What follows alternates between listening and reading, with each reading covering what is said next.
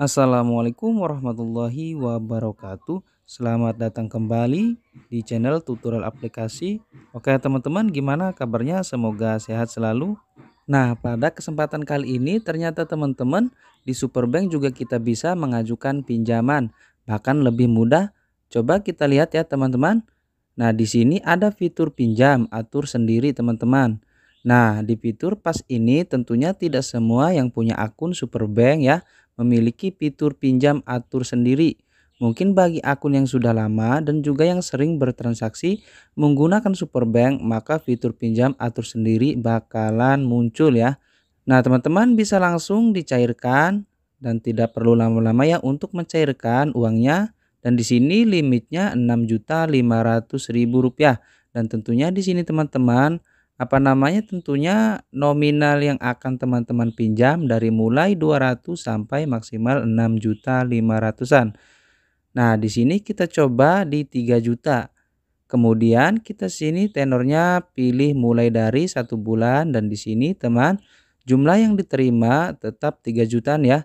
Kemudian total biaya bunganya di sini sekitaran 93 ribuan. Nah, jadi total pelunasannya 3.093.000. Jadi kecil ya.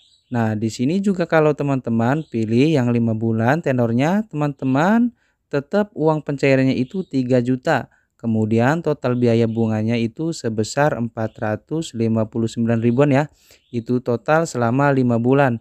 Berarti total pelunasannya selama 5 bulan teman-teman di kisaran 3.459 ribuan.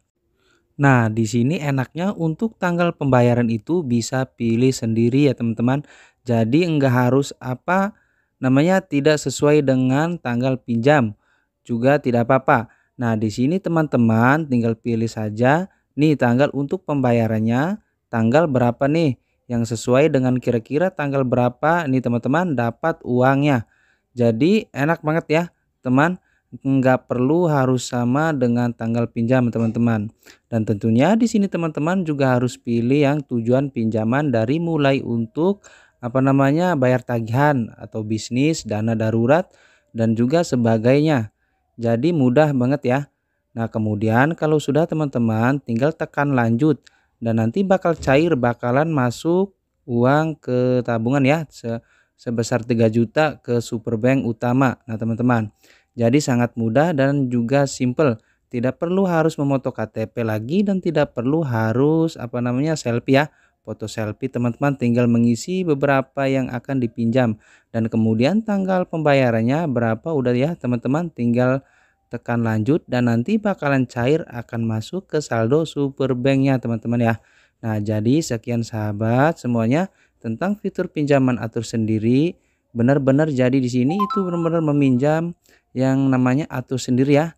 Dari mulai berapa nominal yang akan teman-teman pinjam tanggal berapa teman-teman mampu untuk membayarnya jadi benar-benar fitur pas ya.